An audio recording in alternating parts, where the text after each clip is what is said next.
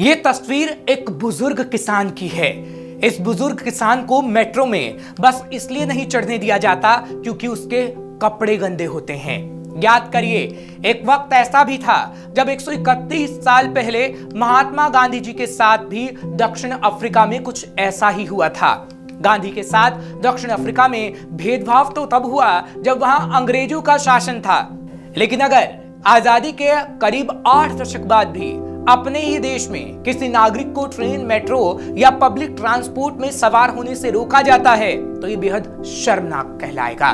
नमस्कार, मैं हूँ आपके साथ हर्ष भारद्वाज, आप देख रहे हैं श्रेष्ठ भारत। सात जून अठारह की वो तारीख, जब गांधी जी को दक्षिण अफ्रीका में ट्रेन की फ़र्स्ट क्लास कंपार्टमेंट से बाहर निकाल दिया गया था, क्योंकि अश्वेतों को फ़र्स्ट क्लास में सफ़र करने की इजाज़त नहीं थी। उस समय भारत और दक्षिण अफ्रीका दोनों ही ब्रिटिश उपनिवेशक थे।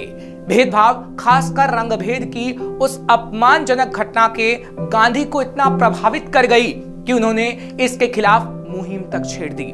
बाद में वे भारत लौटे और ब्रितानी हुकूमत के खिलाफ आज़ादी की लड़ाई का बिगुल फूक डाला।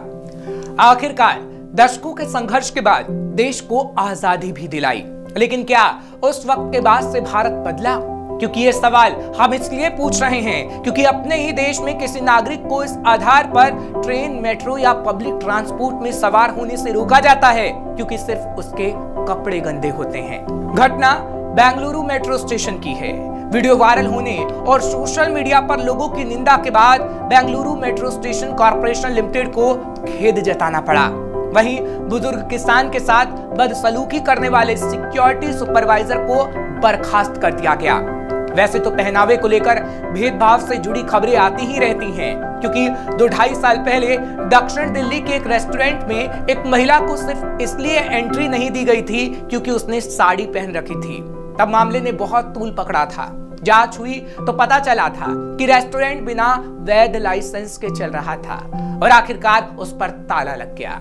लेकिन ये मामला अलग है, जिसको लेकर सवाल इसलिए उठते हैं, क्योंकि बेंगलुरु मेट्रो में बुज़ुर्ग से भेदभाव का मामला ज़्यादा गंभीर है। ये पब्लिक ट्रांसपोर्ट से जुड़ा मामला है। आम जनता के टैक्स के पैसे से चलने वाली मेट्रो में आखिर क्यों आम जनता को उसके ड्रेस की वजह से एंट्री नहीं दी जाती? आखिर क्यों? वीडियो वायरल होने के बाद ही कार्रवाई की जाती है। दरअसल बेंगलुरु मेट्रो स्टेशन की यह घटना 18 फरवरी की थी।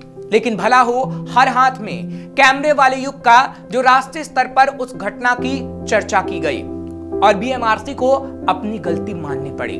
घटना का वीडियो वायरल होने और सोशल मीडिया पर लोगों के आक्रोश के बाद बीएमआरसी को सिक्योरिटी सुपरवाइजर को नौकरी से निकालने का ऐलान तक करना पड़ा।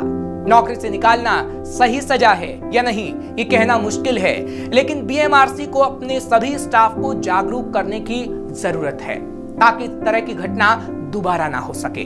दरअसल, बुज़ुर्ग को मेट्रो में चढ़ने से रोके जाने की ये वीडियो 18 फरवरी को राजाजी नगर मेट्रो स्टेशन पर हुई थी, तब किसी ने इस वीडियो को वायरल कर दिया। इससे जुड़े वायरल वीडियो में साफ़ देखा जा सकता है कि सिक्योरिटी स्टाफ एक बुज़ुर्ग को इसलिए एंट्री से रोक रहा है कि उसने कपड़े ठीक नहीं पहने हुए, यानी गंदे कपड़े पहने हैं। वीडियो में दिख रहा है कि लगेज स्कैनर के पास सफ़ेद शर्ट और धोती में एक बुज़ुर्ग है। सिर पर गठरी है। सोशल मीडिया पर किसान बताए जा रहे उस बुज़ुर्ग के पास यात्रा के लिए टिकट भी था। इसके बाद भी सुरक्षा कर्मी उसे एंट्री नहीं दे रहा था, क्योंकि उसके कपड़े ठीक नहीं थे, उसके कपड़े गंदे थे।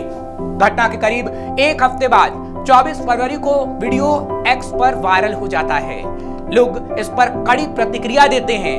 और बीएमआरसी को खूब खरी खोटी सुनाई जाती है लोगों के आक्रोश के मद्देनजर बीएमआरसी घटना का संज्ञान लेती है और सिक्योरिटी सुपरवाइजर को बर्खास्त कर देती है, क्योंकि ये उसकी मजबूरी होती है दरअसल पूरी घटना बेहद शर्मनाक है, क्योंकि गांधी के देश में एक बुज़ुर्ग को मेट्रो में ये कहकर चढ़ने से रोकने की कोशिश होती है कि उसके कपड़े ठीक नहीं हैं। एक आज़ाद देश में कपड़े चमड़ी के रंग, भाषा रंग रूप के आधार पर भेदभाव की घटना की कोई जगह नहीं होनी चाहिए। अफसोस है कि आज़ादी के करीब आठ दशक बाद भी भारत में इस तरह के भेदभाव की घटना हो रही है, जो ये सवाल उठाती है कि आखिर कब ये बदलाव होगा और बदलते भारत में आखिर कब ऐसी तस्वीर आना बंद होगी। फ़िलहाल, ऐसी और खबरों के लिए आप देखते रहिए श्रेष्ठ भारत।